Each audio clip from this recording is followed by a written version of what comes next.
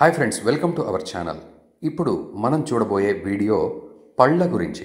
చాలామందికి teeth problems ఉంటాయి. కొంతమందికి చూడ్డానికి చాలా అసహ్యంగా కూడా ఉంటాయి. పచ్చగా గారలు పడి ఉంటాయి. అది ఒక రకంగా చెప్పాలంటే మనం మాట్లాడడానికి కానీ నవ్వడానికి కానీ ఇబ్బంది పడుతూ ఉంటాం. అలాంటి కలర్లో పళ్ళు ఉంటాయి. సరిగ్గా బ్రష్ చేసుకోకపోవడం వల్ల లేదా సిగరెట్ తాగడం వల్ల కానీ లేకపోతే గుట్కా తినడం వల్ల కానీ టీత్ కలర్ మారితే ఈ ఎల్లోగా ఉన్న టీత్ చూడడానికి అసహ్యంగా కనిపిస్తాయి. అయితే మనం తెలుసుకుందాం పచ్చగా ఉండే టీత్ని మళ్ళీ తెల్లగా ఎలా చేసుకోవాలి.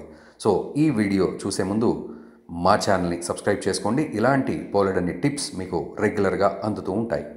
టీత్ని తెల్లగా చేసే ఒక పేస్ట్ని తయారు చేసుకుందాం. ఈ పేస్ట్ తయారు చేసుకోవడానికి మనకు కావాల్సిన ఐటమ్స్ ఏంటో చూద్దాం. నాలుగు పచ్చి వెల్లుల్లి రెబ్బలు.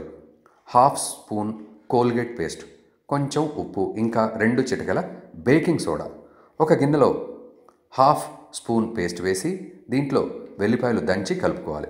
ఆ తర్వాత ఉప్పు బేకింగ్ సోడా వేసుకొని బాగా కలుపుకోవాలి. తయారైన పేస్ట్ని బ్రష్ చేసుకునేటప్పుడు నార్మల్ పేస్ట్ లాగా వాడుకుంటూ బ్రష్ చేసుకొని టీత్ని శుభ్రపరచుకోవాలి. ఇలా ఒక్కరోజు కాదు రెగ్యులర్గా ఒక వన్ మంత్ చేస్తే పచ్చగా ఉన్న పళ్ళు కాస్త వైట్గా మారుతాయి. నెల రోజుల్లే మీరే ఆ డిఫరెన్స్ని గమనిస్తారు.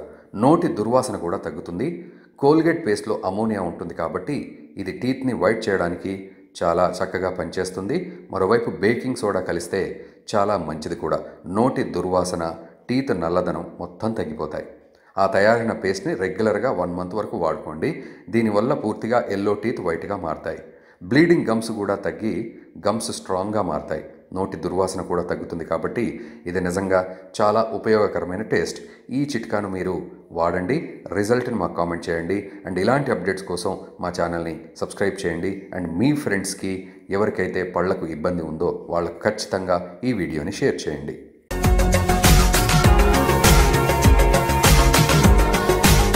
మరిన్ని అప్డేట్స్ కోసం మా ఛానల్ని సబ్స్క్రైబ్ చేయండి.